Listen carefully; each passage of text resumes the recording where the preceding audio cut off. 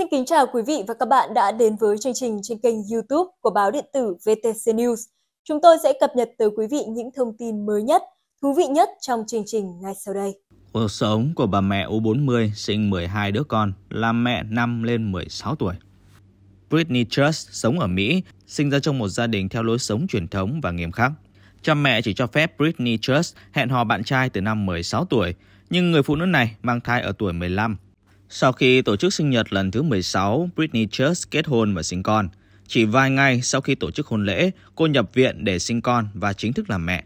Sau khi ly hôn với người chồng đầu tiên, Britney quen và hẹn hò với anh chàng Chris ít tuổi hơn. Trong khi bà mẹ này nghĩ không sinh thêm con, chồng trẻ của cô có quan điểm ngược lại. Anh chàng muốn có thêm nhiều đứa con hơn nữa. Năm nay, ở tuổi 35, Britney có 7 đứa con với người chồng đầu tiên và 5 đứa con với Chris. Trong khi bạn bè đi du lịch, vui chơi và học đại học, Britney dành thời gian để mang thai. Trong 12 đứa con, chỉ có 3 đứa là tôi sinh mổ, còn lại là sinh thường. Người phụ nữ này chia sẻ. Với sự phát triển của TikTok, bà mẹ này thường xuyên chia sẻ các video trên mạng xã hội thu hút hàng triệu lượt xem.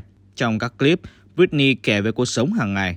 Cô giải đáp các câu hỏi cho người hâm mộ liên quan đến cuộc sống, cách nuôi và dạy con, các khoản chi tiêu. Hàng ngày, Britney cùng đại gia đình quây quần, ăn uống trên chiếc bàn lớn với nhiều chỗ ngồi. Các con của người phụ nữ này chia sẻ chỗ ngủ trong 5 căn phòng khác nhau. 12 người con của Britney uống hơn 7 lít sữa mỗi ngày, chưa kể các khoản chi tiêu khác hàng tháng. Chia sẻ về cuộc sống của một gia đình đông người, Britney thừa nhận trong nhà luôn có tiếng ồn ào và la hét của những đứa trẻ. Tuy vậy, cô đã quen và có cách để lũ trẻ nghe lời, giữ yên lặng. Vấn đề chi tiêu là bài toán khá nan giải đối với vợ chồng Britney và Chris. Theo Britney, mỗi tuần cô chi 300 USD hơn 7 triệu đồng mua 5 hộp ngũ cốc, 66 hộp sữa tươi và hàng trăm chiếc bỉm. Ngoài ra, bà mẹ này phải giặt 12 chậu quần áo mỗi tuần.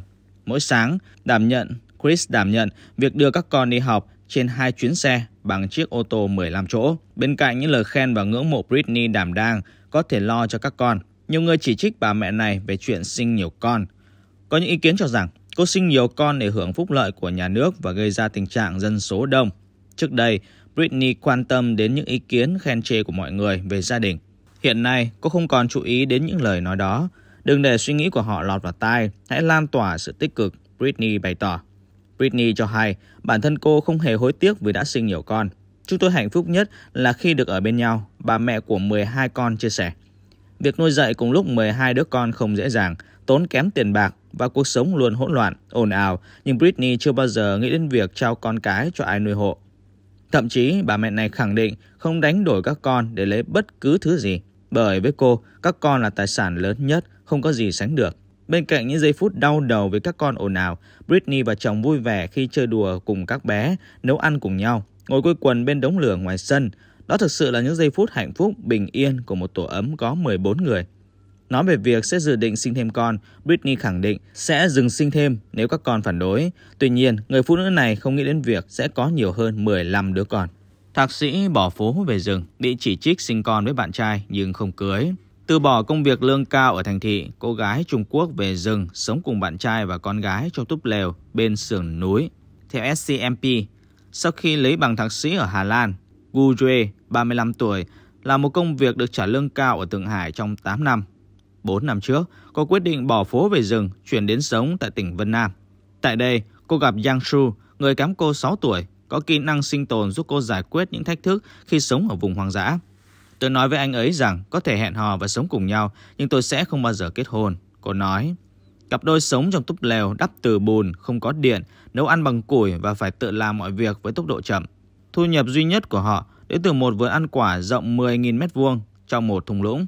Con gái của họ chào đời năm ngoái, chính Giang đã đỡ đẻ cho bạn gái tại nhà riêng trên núi. Những ngày mưa, cặp đôi ở nhà ca hát và nhảy múa. Khi trời nắng, họ mang theo con, dành phần lớn thời gian làm vườn. Ngoài sự thay đổi lối sống, mối quan hệ mở của Yu và Giang đã gây ra cuộc tranh luận sôi nổi trên mạng xã hội. Cặp đôi tiết lộ mỗi người ngủ phòng riêng, phân chia việc nhà và độc lập tài chính. Vì Giang đóng góp nhiều công sức chăm sóc vườn cây nên nhận được nhiều thu nhập hơn. Yang mong muốn có một cuộc hôn nhân ổn định, song thừa nhận hơi bối rối về mối quan hệ không ràng buộc với Gu. Tôi không rõ cái gọi là mối quan hệ mở mà cô ấy đề xuất, nhưng tôi sẵn sàng làm những gì cô ấy muốn. Chúng tôi cùng chăm sóc con gái, Yang nói. Gu mong muốn cô và bạn trai có không gian riêng. Khi còn lớn, cô sẽ tự lập nghiệp, phát triển sự nghiệp riêng. Cô không muốn có bạn trai trong tương lai, khuyến khích Yang hẹn hò nhiều cô gái vì nghĩ điều đó sẽ công bằng cho anh. Tôi là bạn gái đầu tiên của Yang, liệu tôi có thể mong đợi anh ấy chỉ có một người bạn gái cả đời sao? Gu nói. Cặp đôi hiện tập trung nuôi dạy con gái.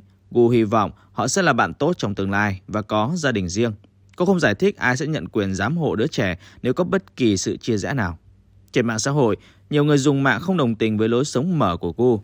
Cô ấy ích kỷ và vô trách nhiệm. Sự lựa chọn trải nghiệm mọi phong cách sống của cô ấy chỉ nhằm mục đích làm hài lòng bản thân của mình. Một người viết trên Weibo. Một người viết trên Weibo. Mỗi người đều có lối sống riêng miễn là bạn cảm thấy hài lòng. Nhưng bạn đang nghĩ đến tương lai của đứa trẻ chưa? Một người khác đặt câu hỏi. Sống một cuộc sống bình dị trong rừng cũng tốt thôi. Nhưng tôi choáng váng khi thấy cô ấy sinh con tại nhà trong điều kiện vệ sinh kém. Nó quá mạo hiểm. Người thứ ba bình luận. Những phụ nữ Nga học cầm súng, cầm những khẩu súng AK trên bàn tay sơn móng cầu kỳ. Nhóm phụ nữ Nga mặc đồ ngụy trang tập bắn vì lo ngại đất nước bị tấn công. Phòng thể hình nơi nhóm người Nga học khóa huấn luyện quân sự nằm ở thành phố Yekaterinburg gần dãy Uran, cách biên giới Ukraine khoảng 2.000 km. Tuy nhiên, cuộc xung đột kéo dài gần một năm với Ukraine đã trở thành động lực thúc đẩy những người phụ nữ này học cách cầm súng do e ngại chiến sự có thể ập tới nước Nga. Chúng tôi nghĩ nếu có gì xảy ra, nếu có một vụ tấn công hay nguy cơ nào đó, chúng tôi nên học cách tự bảo vệ bản thân và người nhà. Olga Smetanina, 36 tuổi, người sáng lập nhóm nữ vệ binh Ura nói, tôi rất yêu nước Nga. Những lời Smetanina nói rất giống thông điệp được Tổng thống Nga Vladimir Putin đưa ra trước đây. Ông Putin nhiều lần cho rằng Ukraine và các đồng minh phương Tây đang hợp lực chống lại Nga và là mối đe dọa với Moscow. Gần đây có quá nhiều hành động gây hấn từ những nước khác chống lại Nga, chống lại đất nước thân yêu của chúng tôi. Smetanina giải thích về quyết định lập nhóm.